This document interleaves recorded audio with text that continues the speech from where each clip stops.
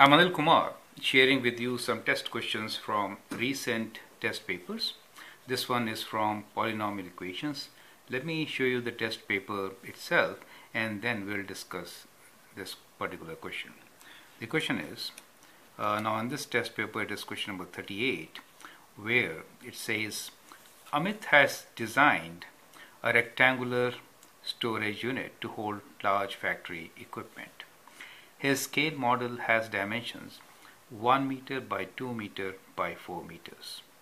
By what amount should he increase each dimension to produce an actual storage unit that is 9 times the volume of this scale model? So that's the question for you.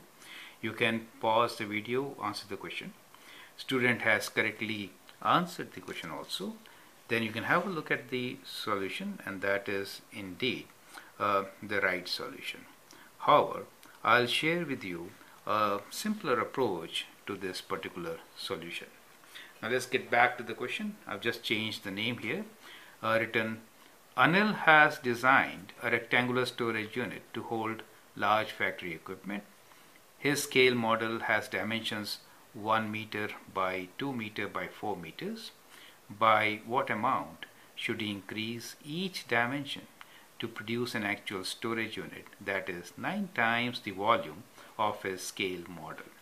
So, so basically the design could be uh, like this. Length 1 width 2 and let's say height of 4 okay so we are saying uh, whatever. So, okay so we say length 1 width 2 and the height of 4 right? So that is the storage unit so when we say height of 4 so this is the storage unit weight which we're talking about correct? So that is how it is. Okay. So that is the model actually. Now it has to be increased and it is increased by same amount on each side correct? So basically it means that uh, let us increase the width by let us say x right? And we'll also increase this dimension by x. So what we have here and also the height by the same amount right? So in that case uh, the box or the storage unit will be kind of like this correct? So so that is the increased size. Okay.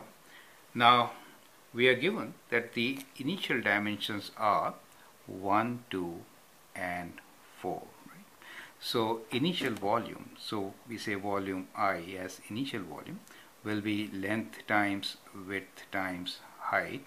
And in our case it is 1 meter by 2 meters by 4 meters right? So we get initial volume of 8 meter cube.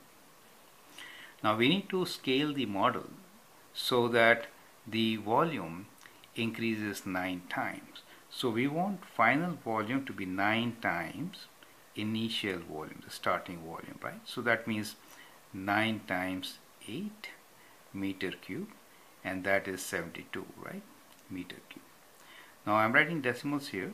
It does not mean decimal, it's a product kind of thing. You can write 9 in brackets, right? So 9 times VI, so 9 times 8 is 72 meter cube.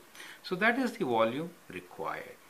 Now we know what are the dimensions. Since we increase the dimensions by 1 each, so what we have here is final volume. We need 72 meter cube. So I'm not writing units now. And the dimensions are 1 plus x times 2 plus x since we increased by plus x, right? That is what it is. So this is like 2 plus x here, right? And this dimension is 1 plus x correct? The height will be 4 plus x. So that becomes the height for us. Then 1 plus x plus 2 plus x times 4 plus x I mean 4 plus x uh, should be equal to 72 now to solve this polynomial equation you can expand bring 72 on this side and then find the zeros, you know, as the student has done. That is one approach. However, uh, my suggestion is that at times what you can do is you can substitute values for x and then calculate what value of x will give you 72 you get my point right? So let us say that the volume so we'll substitute different values and then check. So we say what is the volume when x is 1 you get the idea?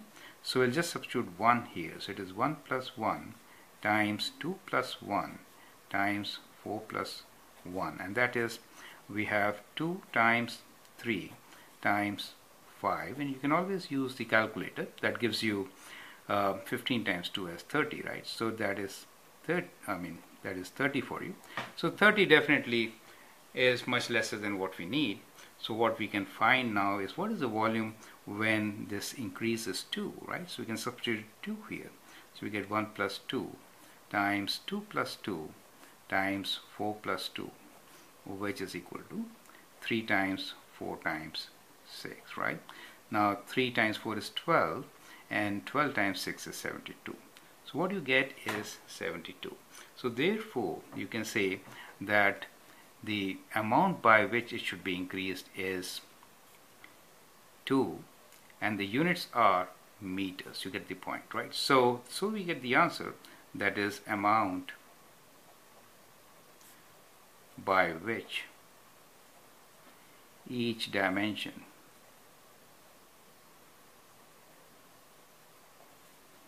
is increased.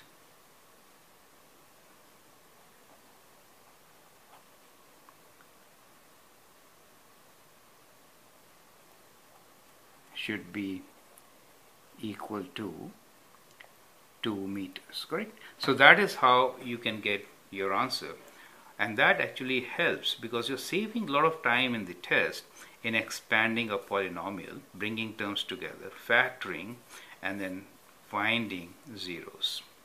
I hope this approach will save a lot of time for you and help you get better marks. Thank you and all the best